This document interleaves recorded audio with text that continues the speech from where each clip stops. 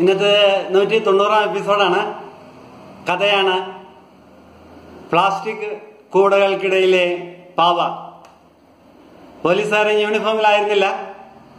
അയാൾ റോഡ് മുറിച്ചു കിടന്ന് കുപ്പിവിളകൾ വിൽക്കുന്ന കടയുടെ വടിയിൽ കാലെടുത്ത് വെച്ച് പിന്തിരിഞ്ഞ് നോക്കി. എന്തോ ഓർത്തിട്ടെന്നോണം ചവിട്ടുപടിയിൽ വെച്ച കാൽ തിരിച്ചെടുത്ത് പിന്നോട്ട് നടന്നു. റോഡിനും കടകൾക്കും ഇടയിലുള്ള നടപ്പാതയിൽ നിലയുറപ്പിച്ച് കവലയിൽ നിന്നും വരുന്ന വാഹനങ്ങളെ നിയന്ത്രിച്ചിരുന്ന ട്രാഫിക് പോലീസുകാരന്റെ അടുത്തെത്തി ട്രാഫിക് പോലീസുകാരൻ തന്നെ ശ്രദ്ധിക്കുന്നില്ല എന്ന് മനസ്സിലാക്കി. തന്റെ മീശയിൽ പയ്യെ തലോടി. പരിചയത്തിനായി എന്തോ പറഞ്ഞു. ട്രാഫിക് പോലീസുകാരൻ അക്ഷമ കാണിക്കുന്ന വകവയ്ക്കാതെ അയാളെയും കൂട്ടി കുപ്പികളെ നിൽക്കുന്ന കടയിലേക്ക് കയറി. ട്രാഫിക് പോലീസുകാരൻ കടയിലേക്ക് വരുന്നത് ഞാൻ ശ്രദ്ധിക്കുന്നുണ്ടായിരുന്നു. കരുതി വെച്ചിരുന്ന കുപ്പിവെള്ളത്തിന്റെ കുപ്പി ട്രാഫിക് പോലീസുകാരന്റെ അടുത്തേക്ക് നീക്കി വെച്ചു ട്രാഫിക് പോലീസുകാരൻ കുപ്പിയിലേക്ക് നോക്കുകയോ എന്നെ ഗവനിക്കുകയോ ഉണ്ടായില്ല. പകരം പിന്തിരിഞ്ഞ് റോഡിലേക്ക് വാഹനക്കുരുക്ക് വല്ലതുമുണ്ടോ എന്ന് നോക്കി നിന്നു. ഞാൻ പറഞ്ഞു ഞാൻ കേൾക്കാനെന്നോണം ട്രോഫി- ട്രാഫിക് പോലീസുകാരനോടായി. അയാൾ പറഞ്ഞു ഇവന്റെ കേസൊരെണ്ണം സ്റ്റേഷനിലുണ്ട്. ഇടയ്ക്ക് ഇവനെ അങ്ങോട്ട് വിളിപ്പിക്കാൻ പറഞ്ഞിട്ടുണ്ട്. നമ്മളായിട്ട് ഇവന്റെയൊക്കെ കച്ചവടം തുലയ്ക്കണ്ട എന്ന് കരുതിയ. ഞാനൊന്ന് പരിങ്ങി. ഒന്നും പിടികിട്ടാത്തവനെ പോലെ ട്രാഫിക് പോലീസുകാരനെ നോക്കി. ട്രാഫിക് പോലീസുകാരൻ പറഞ്ഞു തന്നെ നിന്റെ കേസ് ചാർജ് ചെയ്തതിനാൽ പിൻവലിക്കാൻ പറ്റില്ലെന്ന സാറ് പറയുന്നേ.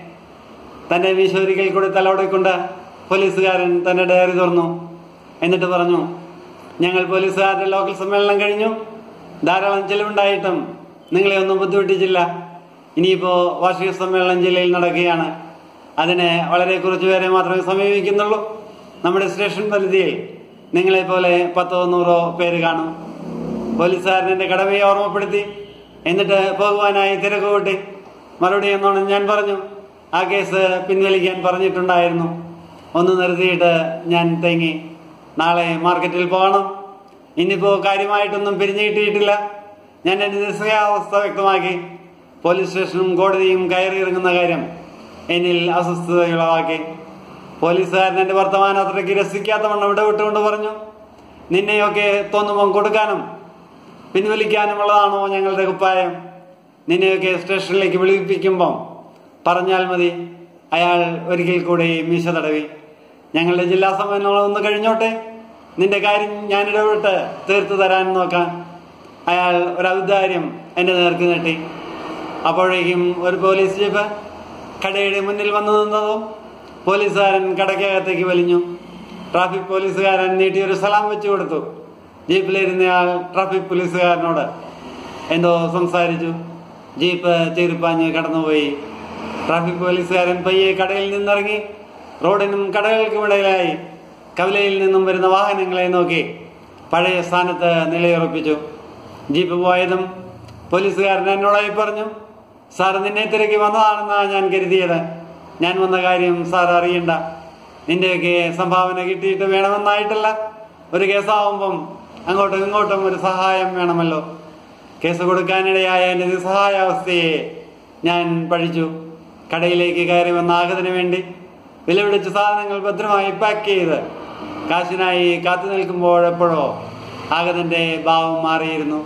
ഭദ്രമായി അടുക്കും ചിട്ടിയോടും കൂടി സൂക്ഷിച്ച സാധനങ്ങൾ ഓരോന്നായി വലിച്ചു വാരിയിടുമ്പോഴും ഞാൻ കാശിനായി ക്ഷമയോടെ കാത്തുനിന്നു അവസാനം എപ്പോഴോ ഞാൻ ആഗതനെ വിലക്കി കാശ് ചോദിക്കുമ്പോൾ രൗദ്രഭാവത്തിൽ എന്നെ നോക്കുകയും വിലയെടുപ്പുള്ള സാധനങ്ങൾ ഓരോന്നായി എറിഞ്ഞൊടുക്കുകയും ചെയ്തു.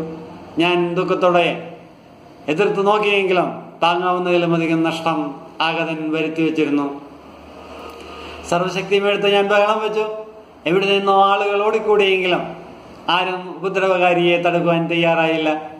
ഏകനായി പ്രതിരോധിച്ചു നിന്ന എന്നെ അയാൾ ഒരു പുഷ്പം പോലെ എടുത്ത് പ്ലാസ്റ്റിക് കൂടകളുടെ കൂട്ടത്തിലേക്ക് എറിഞ്ഞു. എന്റെ കണ്ണുകളിൽ ഒരുപക്ഷെ അയാളുടെ ദയക്കായി കേണിരിക്കാം. അത് വയ്ക്ക വകവയ്ക്കാതെ ഒരു ജേതാവിനെ പോലെ മറ്റുള്ളവർ കാണുക അയാൾ കടയിൽ നിന്നിറങ്ങിപ്പോയി. കേസ് കൊടുക്കുന്നതിനെ പറ്റി ഞാൻ ആലോചിച്ചിരുന്നില്ല. അടുത്ത കടക്കാർ ഓരോരുത്തരായി വന്ന് കേസ് കൊടുക്കുന്നതിന്റെ ആവശ്യകത എന്നെ ബോധ്യപ്പെടുത്തി. ആരോ എഴുതി വെച്ച പരാതി വായിച്ചു നോക്കുവാൻ പോലുമുള്ള മാനസിക നിലയിലായിരുന്നില്ല ഞാനപ്പോൾ. സ്റ്റേഷനിൽ സ്റ്റേഷനിലെത്തുമ്പോഴും എന്റെ മനസ്സിന്റെ മുറിവ് ഉണങ്ങിയിട്ടുണ്ടായിരുന്നില്ല. എന്റെ കടയിലെ നഷ്ടങ്ങൾ ഓരോന്നായി വിവരിക്കുമ്പോഴും കണ്ണുകൾ ഈറൻ അണിയുന്നുണ്ടായിരുന്നു. അന്വേഷിക്കുമെന്നോ നഷ്ടപരിഹാരം വാങ്ങിത്തരുമോ എന്നൊന്നും എനിക്ക് നിശ്ചയമുണ്ടായിരുന്നില്ല. പരാതി നൽകി കൂടെയുള്ളവരോടൊത്ത് പടിയിറങ്ങുമ്പോൾ എന്റെ മനസ്സിന്റെ ക്ഷോഭം ഒന്ന് തണുത്തിരുന്നു. തിരക്കില്ലാത്ത ഒരു സമയത്ത് അടുത്ത കടക്കാരൻ വന്ന് കുശലം പറയുമ്പോഴും മറ്റൊരു പ്രത്യേകതയും എനിക്ക് തോന്നിയില്ല. എന്റെ കടയിൽ അതിക്രമം കാണിച്ചയാൾ എന്തിനു വേണ്ടിയാണ് എന്നോടത്തെ ക്രൂരത കാണിച്ചതെന്ന ചോദ്യം അപ്പോഴും മനസ്സിലുണ്ടായിരുന്നു.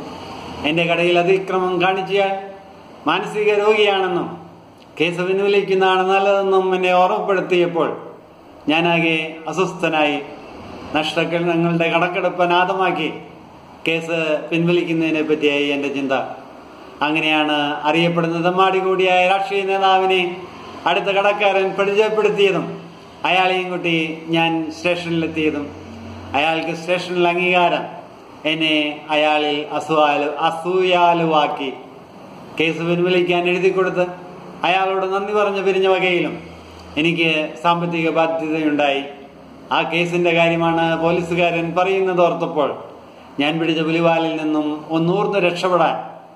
എന്താണ് വഴിയെന്നായിരുന്നു എന്റെ ചിന്ത. ഞാൻ പോലീസുകാരനോടായി പറഞ്ഞു എങ്ങനെയെങ്കിലും കേസ് പിൻവലിക്കാൻ സാർ തന്നെ സഹായിക്കണം. കടക്കാരൻ പോലീസുകാരന്റെ വരുതിയിലെത്തി എന്ന് മനസ്സിലായിട്ടാകണം അയാൾ ഒന്നുകൂടി മിശ തടവി നിവർന്നു നിന്നു എന്നിട്ട് പറഞ്ഞു ഓക്കെ ശരിയാക്കാം. നമ്മുടെ ജില്ലാ സമ്മേളനം ഒന്ന് കഴിഞ്ഞോട്ടെ. സാറിനോട് ഞാൻ പറയുന്നുണ്ട്. പോലീസുകാരൻ ചോദിച്ചത് അത്രയും കൊടുക്കുവാൻ എനിക്കായില്ലെങ്കിലും എന്റെ കഴിവിനൊത്ത് കൊടുക്കുന്നതിൽ ഞാൻ പിശക്ക് കാണിച്ചില്ല. പോലീസുകാരൻ കാശ് വാങ്ങുമ്പോഴും ഞാൻ അയാളുടെ മുഖഭാവം ശ്രദ്ധിക്കുന്നുണ്ടായിരുന്നു. ഞാൻ ആകാംക്ഷയോടെ നിൽക്കുന്നത് കണ്ട് പോലീസുകാരൻ പറഞ്ഞു നിനക്കിപ്പം രസീതിന്റെ ആവശ്യമൊന്നുമില്ല. എനിക്ക് നൂറുകൂട്ടം പണിയുള്ളതാ. നിന്റെയൊക്കെ ക്ഷേമം അന്വേഷിച്ച് നേരം പോയി. ഡയറി കക്ഷത്തിൽ വെച്ച് പോലീസുകാരൻ നടന്നു നീങ്ങുമ്പോൾ കേസ് കൊടുക്കുവാൻ തോന്നിച്ച എന്റെ നിമിഷങ്ങളെ ഓർത്ത് ഞാൻ പഴിച്ചു. കഥ ഇവിടെ അവസാനിക്കുകയാണ്. ലൈക്ക് ചെയ്യുക ഷെയർ ചെയ്യുക. തുടർന്നും ലഭിക്കണമെന്നുള്ളത് ഫോളോ ചെയ്തിട്ടില്ലെങ്കിൽ ഫോളോ ചെയ്യുക. നന്ദി.